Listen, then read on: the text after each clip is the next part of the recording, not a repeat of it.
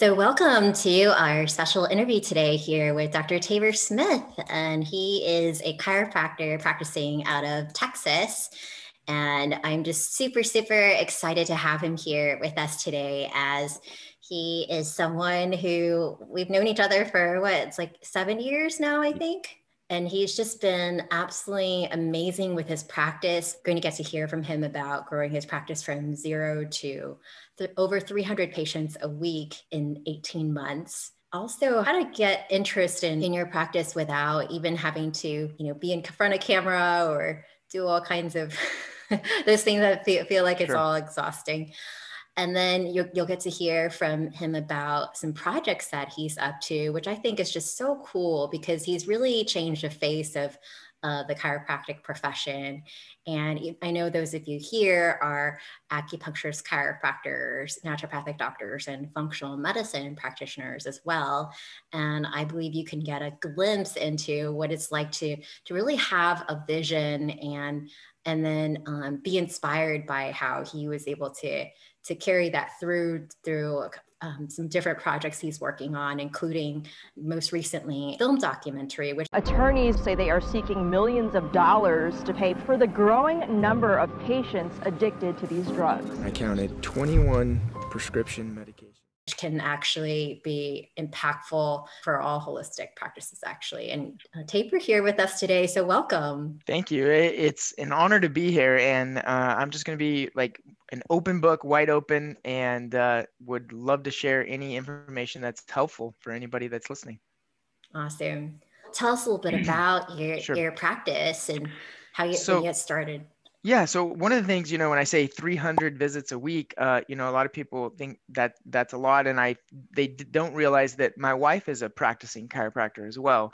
Uh, so that's between the two of us, and sometimes we actually go over that uh, that number, but we've been able to fluctuate right around 300 visits with uh, both of us seeing patients, and um, wasn't always like that. So I I graduated from Parker in uh, in in Dallas and got a job as an associate in Amarillo, Texas. And uh, this was an amazing experience because it was one of the largest chiropractic offices in the state of Texas.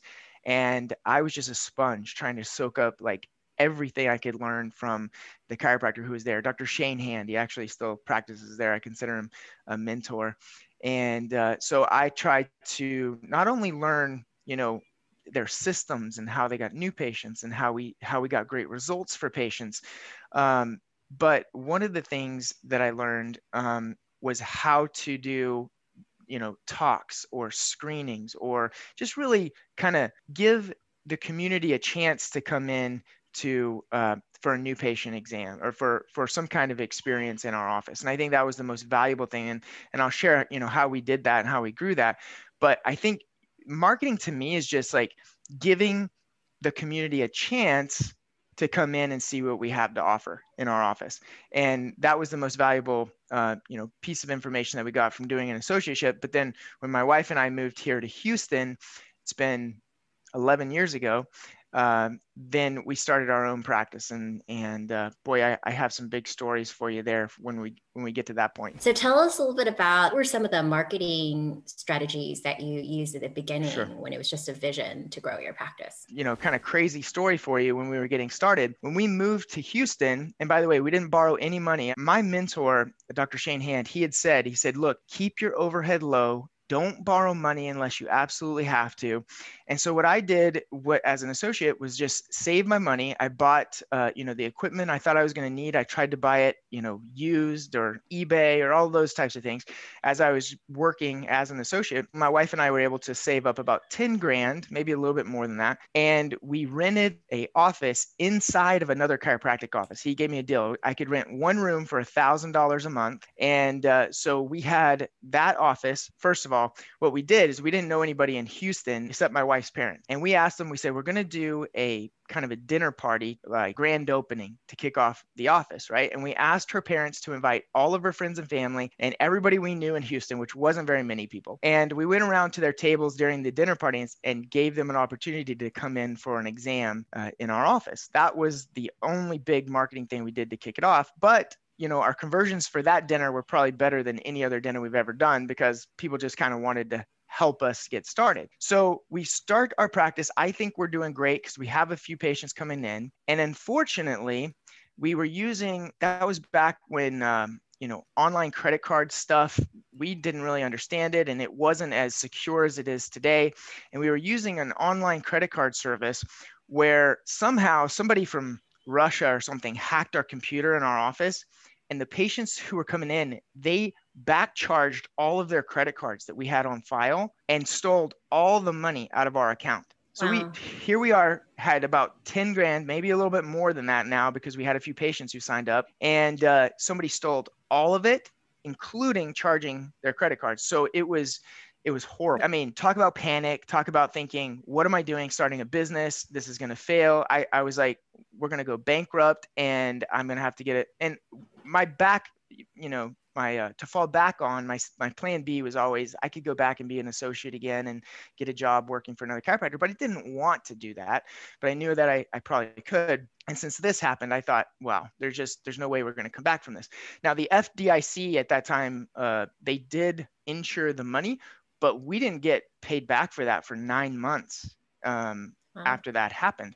So here's what I did. I said, you know what? I told my wife, I said, uh, and this, in, the, in hindsight, that was probably good for me because it kind of lit a fire underneath me, right? To like, to do something. I said, I'll, the only thing I know how to do is spinal screenings. And, you know, I know how to do maybe a dinner workshop because just because I sat through the other chiropractor doing it once, but I didn't have anybody to invite to a dinner. So what I did, I said, I said, uh, told my wife, I said, I'm just going to work as hard as I possibly can to get new patients. Every single moment I have and I'm not in the office, I'm going to go try to find a gym or a vitamin shop or a grocery store or some place that will let me set up a booth and do a spinal screening.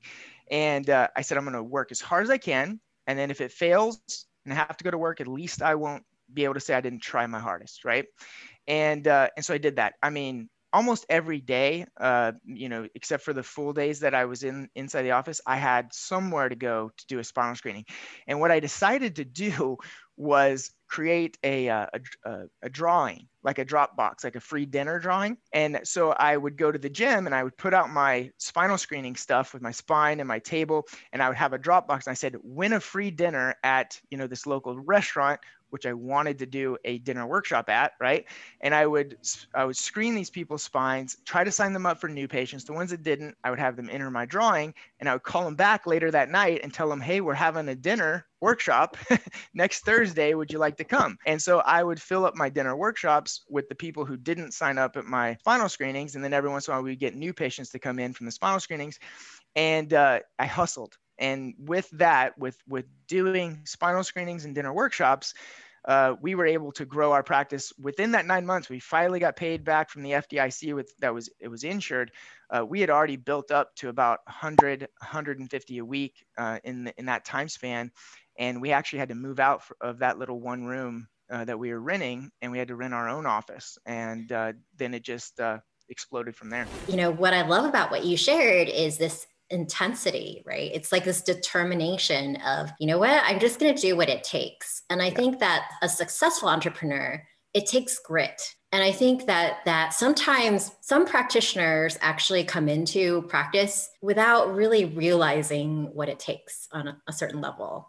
Would you agree? Mm-hmm. Have you seen that? Like it's almost like it's yeah. almost like being blinded by law kind of thing. Like I'm sure. going to graduate and everything's going to be great. Or I've been you know, in practice and I should already be be um, seeing more patients just because I'm a good clinician. Exactly. it doesn't always work that way. And that's a difference from a, a practice owner or you know somebody who may just may just go and get a job you know is that that that job might be out there. But for the entrepreneurs who are listening like it, instead of just opening a door or put hanging up a shingle which you know hopefully if you get lucky and patients just come in that's great. But a lot of times you as an entrepreneur no matter what business you're in you have to fight for it you really you really do and and sometimes more than others right? And sometimes that can get monotonous it could get heavy you know you don't always feel like fighting for it but i think that's the the weight that we carry as entrepreneurs. It's like it's a benefit cost. It's like i would rather be my own boss so that nobody tells me what to do mm-hmm. and i'd rather go out there and and you know hit the streets trying as hard as i could to be my own boss then that's just who i am on the inside. Not that